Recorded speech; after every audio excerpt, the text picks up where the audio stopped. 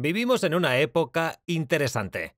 Existe una marca que se identifica orgullosamente a sí misma como low grade y otra que afirma ser good enough, suficiente. A estas alturas no es secreto para nadie que la calidad de los electrodomésticos ha tenido mejores épocas.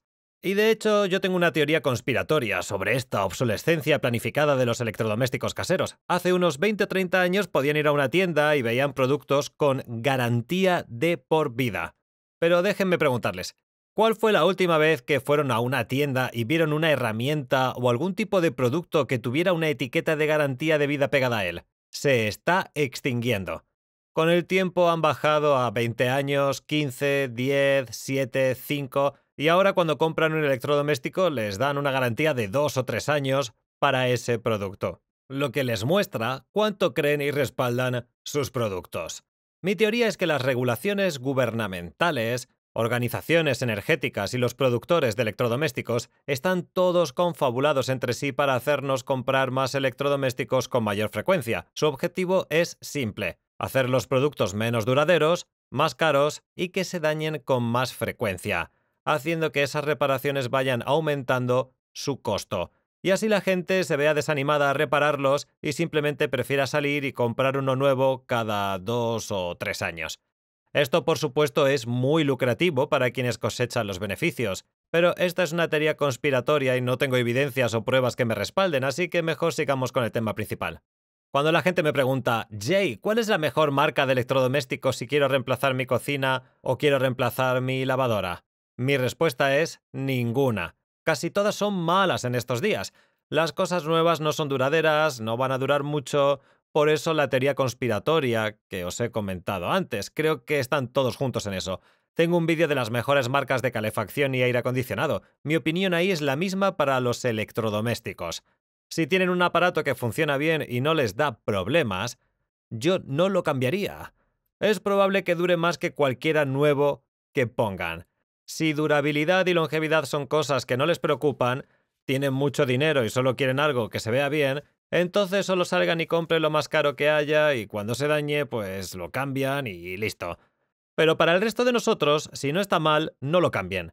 Ahora, si el electrodoméstico está dañado y por algún motivo no lo pueden reparar y me preguntan cuál marca comprar, esto es lo que yo personalmente haría. Si necesitara un nuevo electrodoméstico, entraría a Craigslist y buscaría a alguien que esté mejorando su electrodoméstico. Es decir, que se están deshaciendo de un electrodoméstico viejo, pero en buen estado para instalar un Samsung o LG que se vea bonito, pero que probablemente durará dos años yo compraría sus electrodomésticos usados y es casi garantizado que ese aparato usado que les compre durará más que cualquier otro nuevo que ellos compren. Los electrodomésticos Whirlpool o Kenmore de antes que vendía Sears son unos monstruos, duran para siempre. Tengo un cuñado que solía trabajar como personal de mantenimiento en un complejo de apartamentos y me dijo que había apartamentos a los que nunca había ido a reparar nada. Y eran los apartamentos en los que las personas vivían ahí por 30 años, toda la vida. Y si desafortunadamente fallecían o se mudaban, las cosas que dejaban, los electrodomésticos, eran súper viejos. Y esas cosas seguían trabajando bien y en buenas condiciones. Personalmente me encanta eso. Yo ya tengo 10 años como técnico de reparaciones. En toda mi carrera nunca he sido vendedor o instalador, así que todo el tiempo mi objetivo ha sido reparar, no vender una unidad nueva por lo que mi opinión puede tener un sesgo hacia reparar en lugar de reemplazar. El motivo de que la mayoría de los electrodomésticos nuevos no son tan buenos es porque están hechos con materiales menos duraderos. El metal que usan es más delgado, usan más plástico que metal, lo que solía ser una perilla mecánica ahora es una tarjeta de control con una pantalla electrónica. Esa tarjeta de control cuesta 20 veces más que un switch mecánico si alguna vez tienen que reemplazarlo, y la mala noticia es que esas tarjetas de control se averían con frecuencia.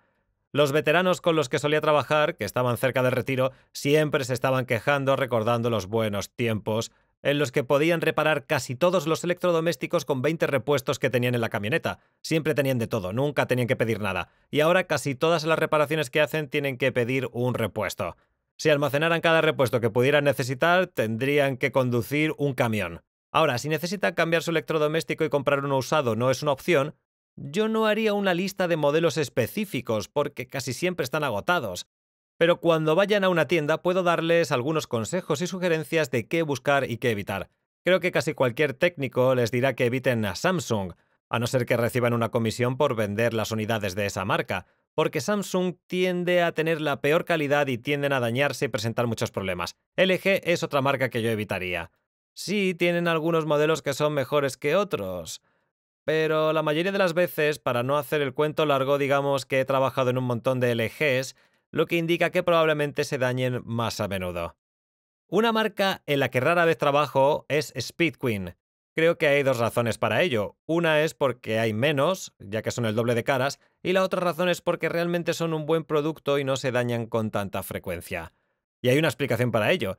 Hasta hace poco, sus lavadoras y secadoras eran completamente mecánicas. No tenían tarjeta de control o pantallas electrónicas, lo que contribuye enormemente a que no se dañen con regularidad. Pero me imagino que por presión de regulaciones gubernamentales finalmente hicieron una serie de alta eficiencia, y ahí fue donde comenzaron a tener problemas. Las nuevas se dañan con mayor frecuencia, tienen problemas conocidos. Es decir, siguen siendo unas unidades increíbles. En cuanto al tema de la alta eficiencia, probablemente son mejores que sus pares como LG, Samsung, Electrolux y el resto. Si cuando buscan comprar un electrodoméstico el objetivo es ahorrar dinero y conseguir una unidad que dure mucho, van a tener que obviar las que se vean bonitas, especialmente si tienen un iPad guindando en la puerta del refrigerador, definitivamente eviten eso. Mientras más simple es la unidad, menos periquitos y menos funciones tenga, menos se dañará y menos problemas les dará. Y es por ese motivo que Samsung vende un montón de electrodomésticos. Las personas siguen comprándolas incluso si oyen cosas malas de ellas, porque se ven muy bien y siempre las ponen delante. Permítame contarles un secreto. Muchas de estas tiendas tienen un acuerdo con Samsung y les dan una comisión cada vez que venden una unidad, así que tienen un incentivo para promocionar las unidades Samsung. Sé que es tentador, pero les animo a evitar las unidades que se vean muy elegantes. Si las quieren comprar solo porque se ven bonitas, probablemente sea una mala decisión. Otra marca popular es GE, y generalmente son suficientemente buenas. Yo preferiría una GE por encima de una Samsung o LG cualquier día, y la serie Profile, la serie Profile de GE, pareciera ser de mejor calidad y que duran más que las GE normales. Si buscan un lavavajillas, la mejor marca es Bosch. Creo que la mayoría de los técnicos estarán de acuerdo conmigo. Si buscan refrigeradores, una vez más, mientras menos funciones, mejor. También si la fabricadora de hielo está en la sección de comida fresca, no en el congelador, yo evitaría ese a toda costa. Es casi garantizado que tendrá problemas sin importar la marca. Si buscan un horno, yo escogería algo que tuviera perillas, no importa si son eléctricas o a gas. Es mejor que tengan perillas. Si no tienen perillas, todo es un gran panel de control. Están buscando problemas. Si alguna vez tienen que reemplazar esa cosa, ese panel es casi tan costoso como el horno completo. Si buscan lavadoras, para ellas, eh, si pueden, las de carga superior son mejores y duran más que las de carga frontal y tienden a presentar menos problemas. Las dos marcas que yo evitaría si compran una lavadora de carga superior son Samsung y GE. Por algún motivo muchas lavadoras de carga superior GE tienden a tener un montón de problemas. En cuanto a secadoras, la marca no importa mucho y la mayoría busca hacer el juego con la lavadora. Pero un buen consejo es que sea una secadora con el filtro por arriba, los que se sacan. Normalmente están mejor construidas y tienen menos problemas. Y las mismas reglas aplican para las máquinas de lavado y el resto de electrodomésticos. Mientras menos periquitos, mejor. Lo mecánico es bueno. Y eso es todo lo que tengo para ustedes hoy. Si están de acuerdo o no, o tienen historias propias, o si tienen preguntas de algo que no expliqué con claridad en este vídeo, por favor háganmelo saber en la sección de comentarios de abajo. Les veo allí.